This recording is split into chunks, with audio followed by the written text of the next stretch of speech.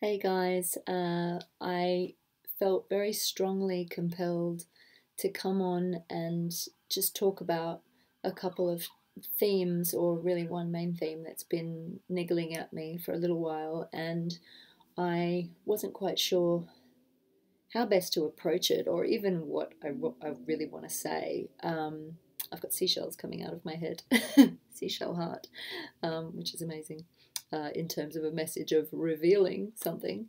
Um, I suppose this is a message for all the light workers and the healers who are feeling a bit disillusioned with the spiritual industry at the moment. I know I'm not alone in this, and it's been coming more and more to the surface of my mind. And then last night, I had a little bit of a tantrum at home about just how difficult it is to, uh, when you really are a healer, when you really are doing the work, boots on the ground, actually helping people to get your work out into the world when there seems to be a trend now uh, for spiritual celebrities and for people to run out and get a certificate, get very clever with all this internet and social media marketing, and suddenly be able to be the next biggest guru. And uh, you know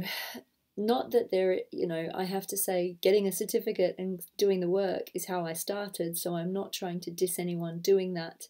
However this trend for uh, people kind of touting themselves with very clever marketing and i guess my point here is a little bit losing the point of why we do this work to begin with.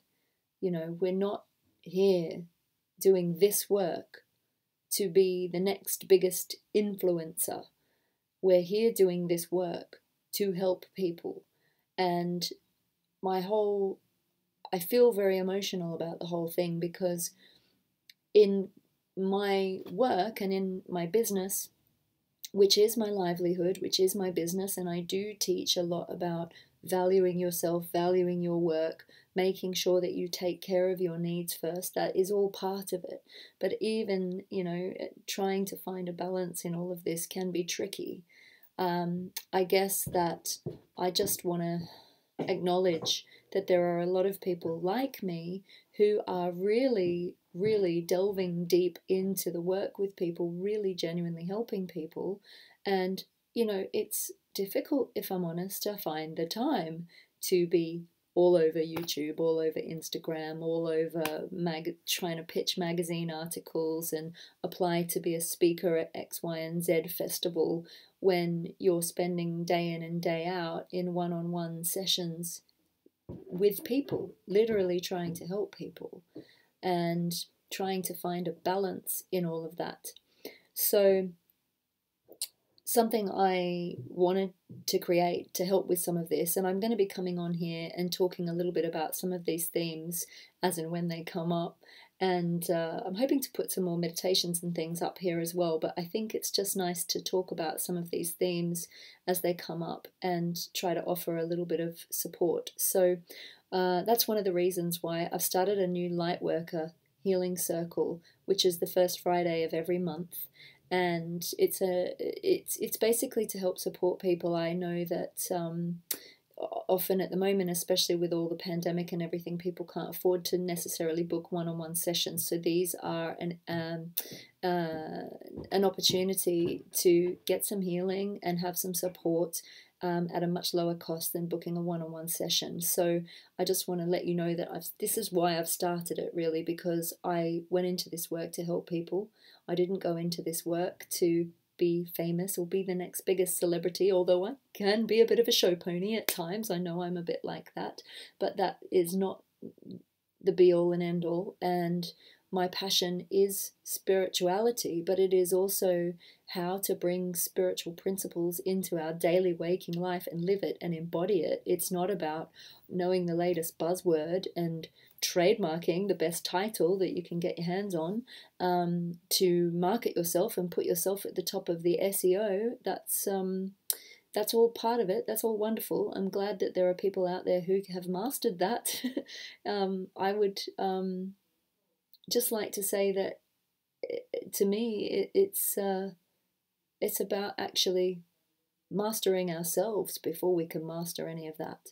So anyway, I feel like I'm prattling on, um, but I just wanted to acknowledge that um, if you're feeling disillusioned with the spiritual industry, uh, you're not alone.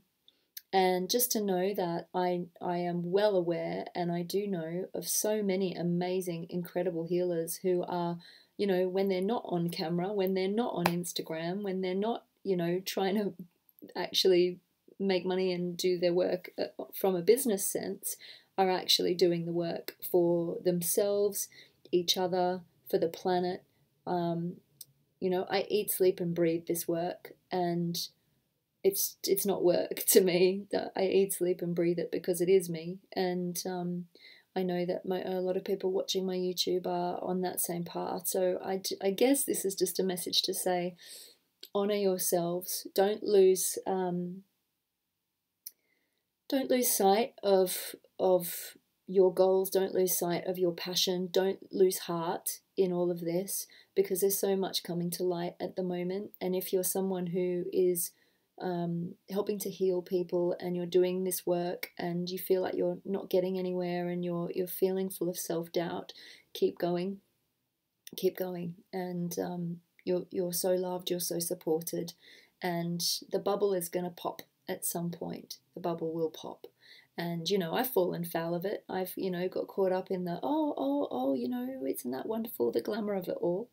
Um, but yeah it's about remembering why we why we truly are drawn to this work the empaths and the light workers and the healers. So the the the support will can be found in many places. I'm hoping to offer more support here via my youtube channel but i also um, want to just let you know that the first friday of every month i'm doing a, a 33 pound healing circle for empaths, light workers, and healers, and we will be covering a lot of these themes, but we'll also be doing some lovely, deep healing work to help move through it. Okay, and um, you, I call it a circle. It is slightly more of a webinar. You can have your camera on or off as you prefer, and um, I'm hoping to run some of these in person.